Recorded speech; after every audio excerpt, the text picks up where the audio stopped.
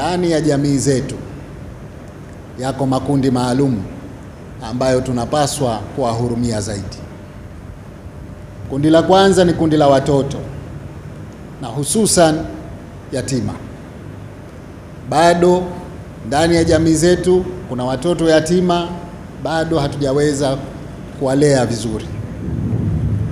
Kwa hivyo tuhimizane Waislamu katika maeneo yetu tunayoyaishi, tuwahurumie watoto na hususan kundi hilo la watoto yatima. Lakini katika jamii yetu kuna kundi la pili la wanawake na hususan wajane. Tunawaona kila siku makundi makubwa ya wajane wanavyohangaika. Tunao wajibu kama Waislamu katika jamii zetu, na hiyo ni moja ya kazi ya misikiti yetu.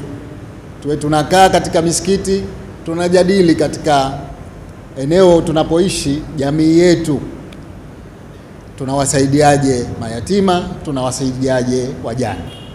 Kundi la tatu ni kundi la wazee, na ndani ya wazee kama tulivyoambiwa hapa, hususan wazazi, lazima tuone umuhimu wa kuwahurumia, na kama ilivyosemwa, hakuna mtu anayeweza kumlipa mzazi wake, lakini ni wajibu wetu kuhakikisha tunafanya kila linalowezekana kuwahurumia wazee na hususan wazazi wetu.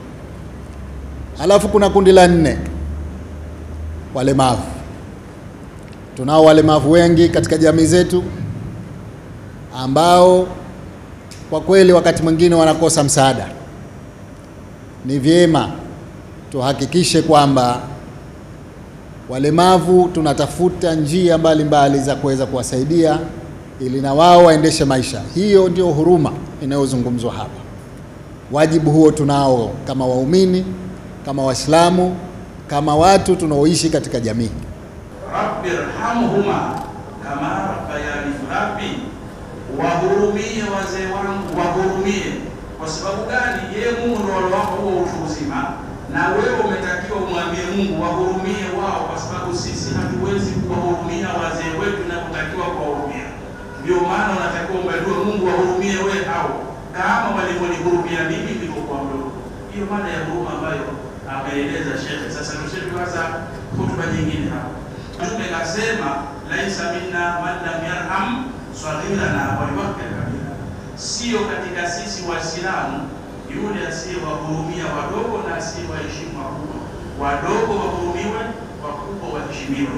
Na kazi hii ya huruma hata mfano mzuri tunao kwa kiongozi wetu Mheshimiwa Rais, ni kiongozi mwenye huruma sana. Dunia hii Mwenyezi Mungu anaiendesha kwa rehema zake.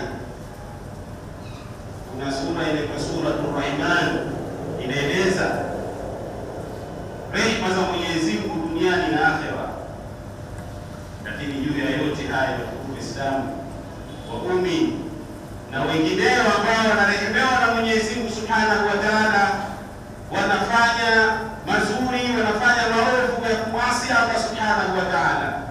Allah akasema, qul ya ibadi alladhina asrafu ala anfusihim la taqnatu min rahmatillah inna Allah